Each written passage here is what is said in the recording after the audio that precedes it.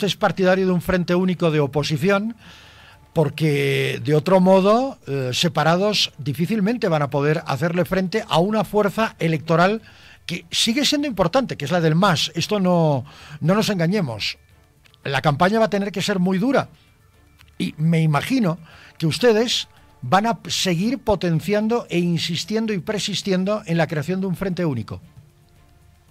Sí, Ramón, eh, pero, va a ser, eh, eh, el masismo tiene un 30 puntos, un techo de 30 puntos y una base de 22, 25 puntos. Eso está marcadísimo en todas las encuestas. desde las encuestas más favorables a ellos hasta las más pesimistas, yo las tengo todas y en las 7, 8 encuestas que he visto, ellos no están con un, techo más del 30%. ¿A quién hay que ir a conquistar? Hay que ir a conquistar al famoso péndulo que siempre va yendo según el indeciso y según la oferta electoral que vaya a haber en ese momento. Nosotros creemos hoy más que nunca desde el bloque de la oposición y la unidad es posible de que hay que ir a un proceso de disputa dentro de la unidad y dentro de lo que es la oposición política. ¿Por qué? Y lo repito permanentemente, porque hoy día en el lado opositor, Ramón, hay diferencias ideológicas, hay diferencias de proyectos de gobierno para poder encarar un gobierno 2025. ¿Por qué? Porque hay algunos que son más de extrema derecha, otros de derecha, otros liberales, otros más de centro, incluso hay algunos que coquetean con una izquierda porque tienen ese pasado, pero están en el lado opositor. Entonces hay que disputar esa, ese proyecto de gobierno para que cada uno diga lo suyo, mira, yo voy a hacer esto con las empresas estatales, yo voy a hacer esto con la economía, con la política voy a hacer esto, con lo social así, y con eso el ciudadano a través de unas primarias ciudadanas va a tomar una decisión y va a decir, ¿saben qué? Me gusta esta persona, tiene experiencia, no tiene experiencia, tiene ganas, no tiene ganas, tiene edad, no tiene edad. Él va a medir o ella va a medir y va a tomar una decisión. Y además, lo mejor aún, que se va a compenetrar, a meter en la campaña. Hoy día nadie se quiere meter a ninguna campaña. Hoy día nadie tiene una afinidad con los partidos tradicionales y los políticos tradicionales. ¿Por qué? Porque no han traído una oferta que nos cautive, que nos dé esperanza, que nos diga, viene un país nuevo, ¿me entendés, Ramón? Entonces, creo que estamos en un buen momento para poder darle giro a toda esta situación. Evidentemente, el tren solamente pasa una vez por esa estación. Hubo la gran oportunidad de cambiar en el año 2019 y se desperdició. Era la gran oportunidad de cambiar. Y los políticos tradicionales, Agustín, usufructuaron esa oportunidad de cambio para sus propios intereses, lo cual derivó en el advenimiento de un más 2.0. No nos engañemos nunca. Luis Arce y Evo Morales son astillas de una misma vara. Astillas de una misma vara. Ideológicamente no hay diferencia. Aquí es un tema de a ver quién la tiene más larga. Perdone usted la, referencia erótica. Es un, es un duelo de machos. Es un duelo de machos. No tiene nada que ver la política.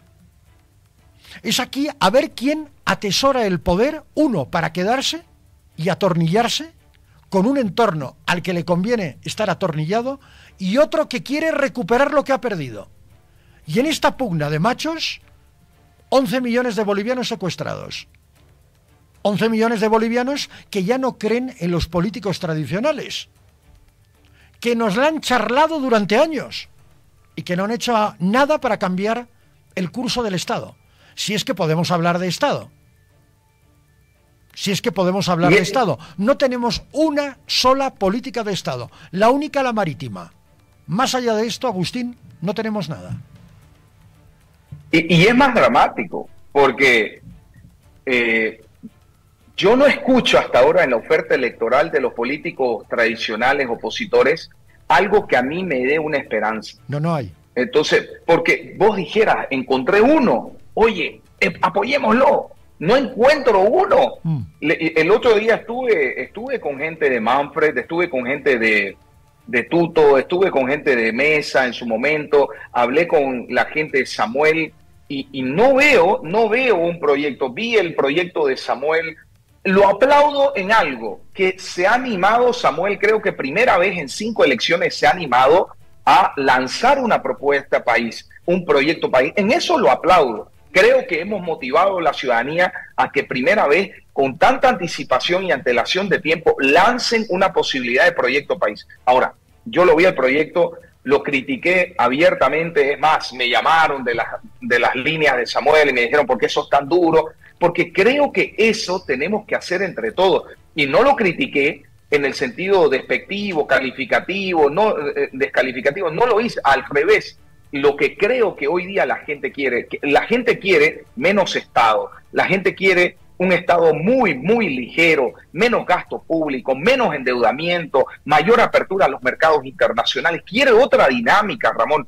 Y cuando vi la propuesta de Samuel, vi más estatismo, vi más alimentación de eh, Estado gordo, vi más de seguir en lo mismo, simplemente cambiar actores y si algún pincelazo, vamos a decir, de cambiar algo. No, acá hay que cambiar el cimiento del modelo. El modelo ya no puede ser estatista. El modelo no puede gastar cerca de 13 mil, 14 mil millones de dólares en gastos públicos para empresas públicas. Ya no puede gastar tanto dinero para lo que no funciona, Ramón.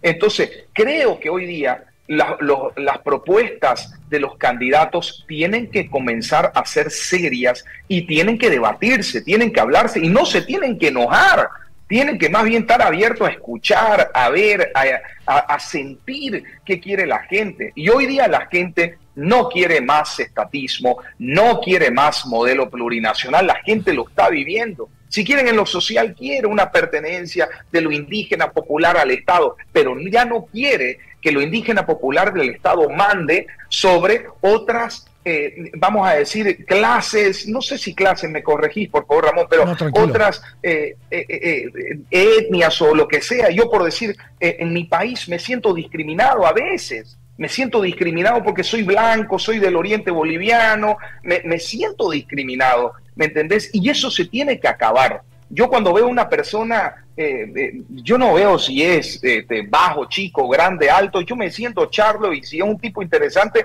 me lo traigo para mi fila y hablo con él y ojalá, y si es que es Aymara, Quechua, si es de la Huipala o no Huipala, eh, a mí no me importa, a mí me importa el sentimiento de seguir avanzando para poder construir un país. Yo no quiero dejarle un país totalmente destruido a mi hijo y lo peor, no quiero dejar un país, Ramón, que me esté muriendo a los 70, 80 años, si Dios me otorga esa edad, y mis hijos fuera del país que los llamen y le digan, papá está muriendo, vení a sus últimas horas y yo ya inconsciente no pude, lamentablemente, eh, despedirme de mi familia. Perdón que utilice este última, esta última parte que usted ha dicho. Eh, hay muchos chicos, muchos, entre ellos mi hijo,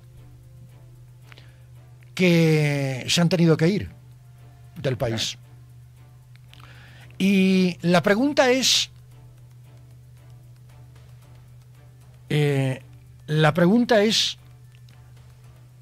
o, o mejor dicho, la pregunta no es, ¿por qué